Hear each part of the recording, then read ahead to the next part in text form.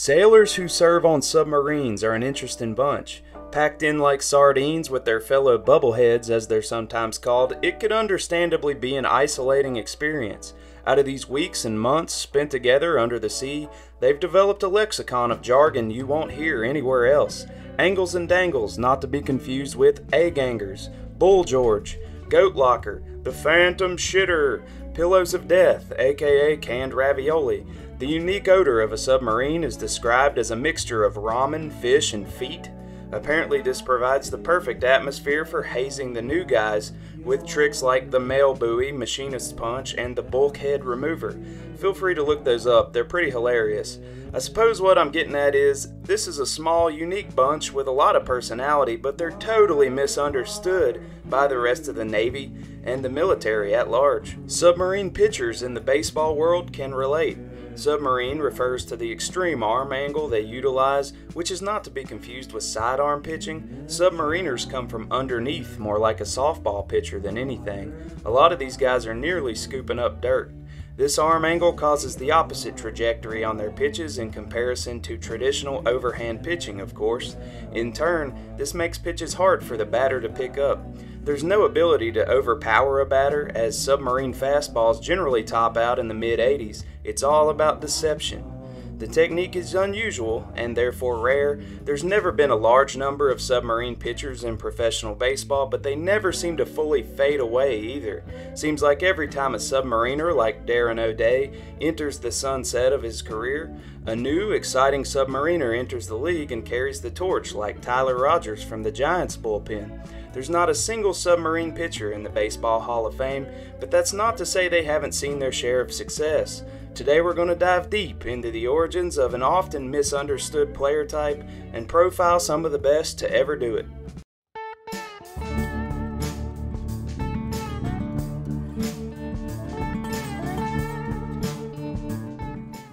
Before we get rolling, if you would, please like and subscribe. Help break down the outfield walls that stand between small ball creators like me and a good audience. Drop me a line, let me know what you think. Here we go. Cy Young was noted as one of the first to utilize the submarine style, but he would mix it in intermittently with overhand pitching. Nonetheless, a legendary player is linked to the style. Jack Warhop was the first true submarine pitcher, meaning it was the sole technique he used to get outs. Warhop was a West Virginian who rode the submarine out of the coal mines and onto the Yankees roster. He had his ups and downs. Baseball magazine once called him the unluckiest pitcher of all time. Call it bad luck, call it karma. True submarine pitchers didn't exactly get off on the right foot reputation wise. You see, the next one to fully commit to submarine pitching was Carl Mays, on the tail end of the dead ball era. I'm saying dead ball as ironically as I possibly can because he's the only player in history to injure another player on the field and it directly result in death. On August 16, 1920, Mays, who was with the Yankees at the time, hit Cleveland Indians batter Ray Chapman in the head. Chapman was unable to get up off the dirt and was assisted by his teammates. Mays never left the mound. Upon arrival at the hospital, they found Chapman's skull was fractured. They operated on it, but he'd die in doctor's care the next day. Needless to say, this cemented Carl Mays' reputation as a headhunter for the rest of his career. He would often feud with Ty Cobb, and honestly, he's probably one of the few players who was even remotely as hated as Ty Cobb was. Carl Mays won two World Series with the Red Sox and two with the Yankees. He was the Major League wins leader in 1920, and though Mays wasn't the first to utilize the submarine style, his nickname Sub suggests that he was the pitcher who gave the style an identity within the game. Mays retired in 1929 Elden Submarine Auker debuted in Major League Baseball in 1933. Porter Moss debuted in the Negro Leagues in 1933, both filling the role as the lone submariner in their respective leagues. Auker with the Detroit Tigers, Moss with the Cincinnati Tigers. Elden Auker would get a ring in 1935, During this postseason run, he was the first interview of a young Chicago Cubs broadcaster, a one Ronald Reagan. It was his first big break. Auker was the longest lived of all the 1935 Tigers, dying at age 95 in 2006. Alternatively, Porter Moss died tragically at age 34. His team at the time, the Memphis Red Sox, were on the way home for a doubleheader when their bus broke down, landing the team on an overcrowded Jim Crow era train car. A drunk passenger was allegedly pestering a woman on the train. Moss tried to intervene and was subsequently shot. A doctor boarded the train to administer aid to a white passenger but refused Moss medical attention because of his race. Auker and Moss, as similar as two players could possibly be on the baseball field, two totally different lives because of their circumstances. Ted Abernathy was the first pitcher we'd see totally rejuvenate his career by going submarine. He pitched for the Washington Senators from 1955 to 1957.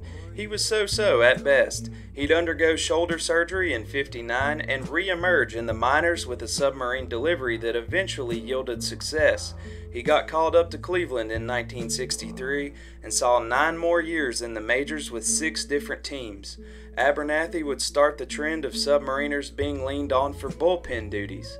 He would notch 149 career saves. He retired in 1972. 1974 saw Kent Tekulve come onto the scene and carry the submarine through the 70s, culminating into a 1979 World Series championship. Tekulve was an absolute workhorse. He's one of only two players in history to appear in 90 or more games in a single season. One of his 90 game seasons occurred when he was over 40 years old. He's the only one to ever accomplish that. He holds the National League record for innings pitched in relief with 1,436 and two thirds. Here's a weird record the most career losses without having given up any earned runs. This happened to him 12 times. That's some Jack Warhop ass bad luck right there. Gene Garber was also slinging it submarine style during this time in a career that spanned almost 20 years. Nine of these seasons were with the Atlanta Braves. He's third on the team's all time saves list. He's fifth in career pitching appearances with 931. The eccentric Dan Quisenberry would headline the submarine pitchers of the 1980s. He's the most decorated submarine pitcher of all time. He was a three time All Star and a 1985 World Series champion. He was the five time American League saves leader and a five time Rolaids Relief Man of the Year. Quisenberry couldn't overpower the hitter, but he induced ground balls as well as anyone in history. One of the more quotable players of all time, he said, quote, I'm probably the only player who has more saves than strikeouts. Also, quote, Reggie Jackson hit one off of me that's still burrowing its way to Los Angeles. And one more for good measure, quote, The best thing about baseball is there's no homework. They don't make them like the quiz anymore. All right, Dan, all of them right on the black. Wow, we can't get much sharper than that. Popularity isn't really a word I'd like to associate with submarine pitching, but if there were a peak popularity for submariners, it was the late 80s and the early 90s. The Mets bullpen featured Terry Leach. The Blue Jays bullpen featured Mark Eichhorn. I called him Mike Acorn in the last take, glad I caught that. And the Phillies bullpen featured Todd Frohwirth. Steve Olin made the pitch his own in this era. He made his way from the Cleveland bullpen to the mound to the tune of the Beatles' Yellow Submarine over the PA. Of course he did. Chad Bradford would enjoy a long career as the most prevalent American submariner in the 2000s, and Shunsuke Watanabe would dazzle in Japan at the same time. He had what's widely regarded as the lowest submarine release point ever. Pretty incredible to watch. My takeaway from a day of submarine research is this you don't always have to be the best athlete to win. Just be the weirdest guy on the field. Hey, just be yourself. Take it easy.